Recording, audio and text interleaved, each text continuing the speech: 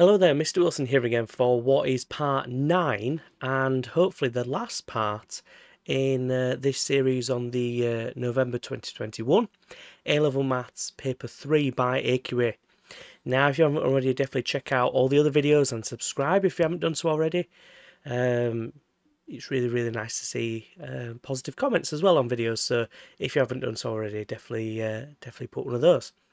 So I believe that this is the last question on this paper, and this is question 18. So, a factory produces jars of jam and jars of marmalade. Interested? The weight, uh, the weight x grams of uh, jam in a jar can be modelled as a normal distribution uh, with mean of 372 and a standard deviation of 3.5. Find the probability that the weight of the jam in the jar is equal to 372. Now, this is a really, I always love this question, right? Because it's always one of them that's, that's just sort of a fact that you should know. So, in the normal distribution, because it is continuous data, the probability that you get an exact value is zero, right? So, the probability that the weight of the jam in the jar is equal to 372, that has to be zero. Now, that doesn't mean it's impossible right? Because this is where we sort of move from GCSE to A level of the realization that in something being impossible and something you know being um, probability zero don't necessarily mean the same thing now. So just because something can be, because there are infinitely many weights that the jar of jam could be, it's probability zero. So that's what it is. Whereas the second part says find the probability that the weight of the jam in the jar is greater than 368 grams. Well, to work this out, I would do so the probability that x is greater than 368. Uh, I would do 1 minus the probability that x is less than 368. Now, we don't have to say less than or equal to because, remember, probability being equal to 368 is 0. So it's just 1 minus the probability of x being less than 368. And if you put that in the calculator, I believe you get 0 0.873. I did it in the calculator earlier. 0 0.87345 uh, is the final answer there. So a nice little normal distribution question there. A little bit of probability, bit of calculator work as well. Right, then part B says the weight of uh, y grams of marmalade in a jar can be modelled as a normal variable with mean of uh, mu and standard deviation of sigma.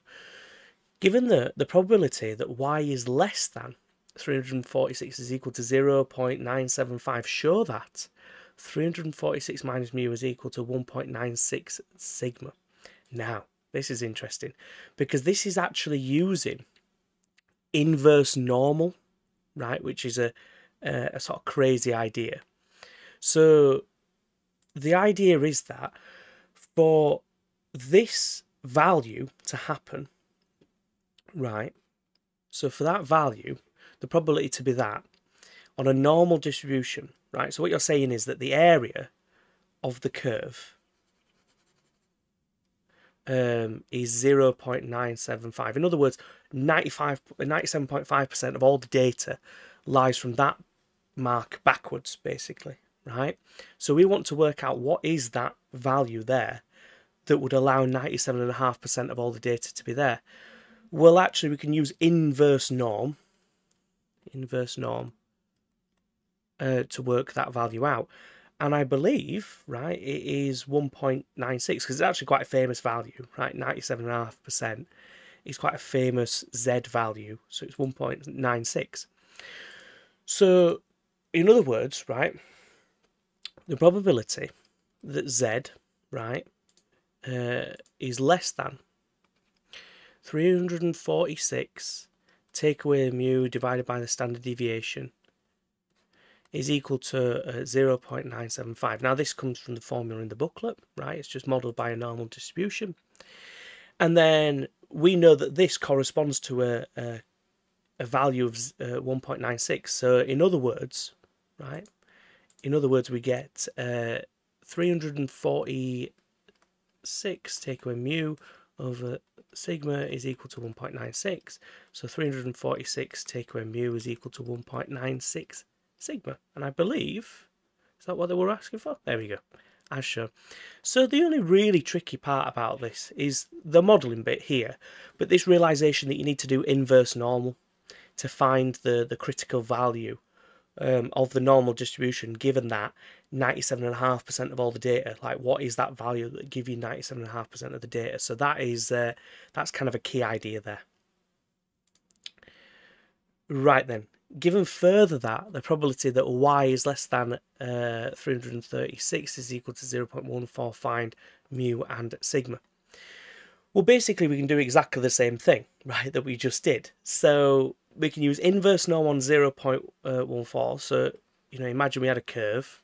0.14 is going to be somewhere down here, right? Because it's only 14% of the data. So it's going to be somewhere here. What is that critical value that would allow us to have 14% of the data there? Well, it is negative 1.08. So again, we can we can do exactly the same setup where we do 336 take away mu over sigma must be equal to negative 1.08. So we get 336 take away mu is equal to negative 1.08 sigma.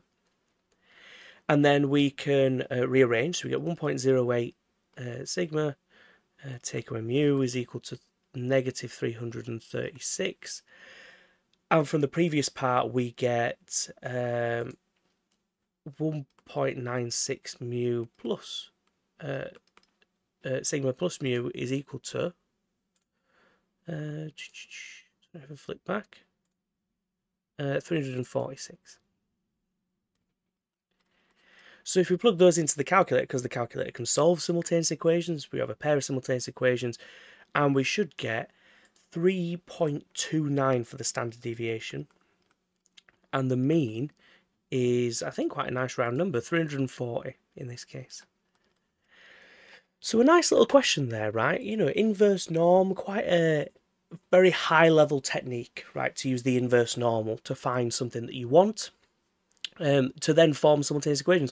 It reminds me of, of, a of a question that we just did. This one here, uh, where you had to form simultaneous equations in probability and then solve.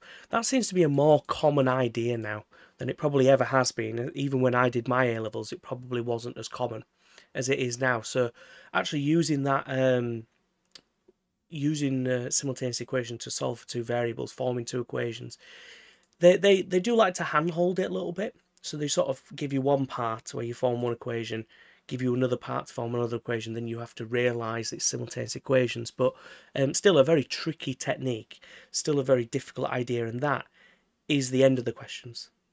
Now, this has been a long series actually because um, for, for a while I, I uploaded every single day and um, basically since the start of the year.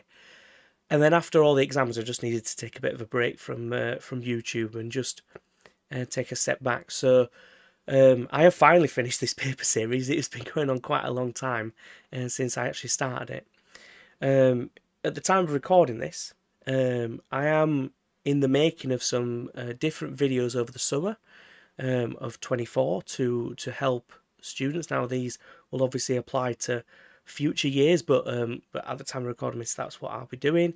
Um, so there'll be loads of stuff coming out this summer. Just because the exams are over doesn't mean that the fun stops in the maths, obviously. So uh, so that'll be there for those people. But overall, um, yeah, I really enjoy making YouTube videos. It's one of my favourite uh, things to do. It's it's something that I like to do, you know, when I've got a bit of spare time, it's just nice to relax and, and, and give that a go. So if you have enjoyed my videos, then then thank you for being a avid watcher.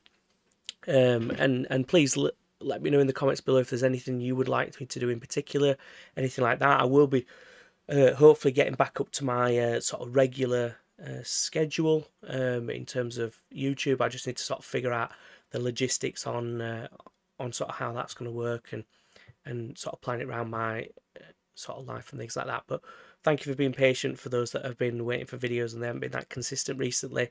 Um, you know we've all just got to take that break sometimes and uh, i do enjoy making youtube videos but sometimes you have too much of a good thing can't you? So uh, thank you for being patient. But all i want to say is thank you so much for watching and i hope you have a fantastic day